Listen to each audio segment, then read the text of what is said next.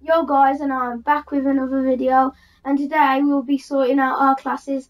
So our first class is KN44 as you can see and we we haven't got of, we haven't opened a lot of supply drops so we haven't got that much um, camos on it as you can see and I I would recommend putting um, rapid fire grip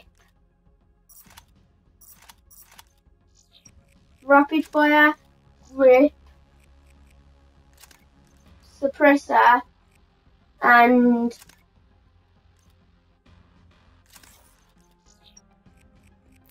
and fast mags and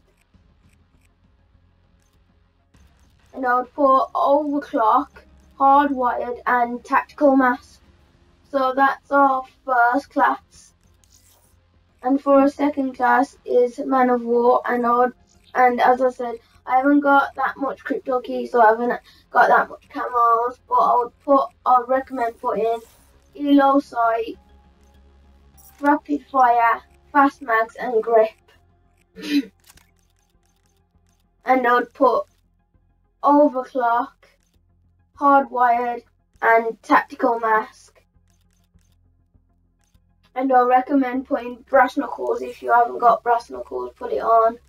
Um, and VMP, I've just got the haptic new camo, and it looks a bit like dark matter. And I would put on grip, extended mag, fast mags, and long barrel.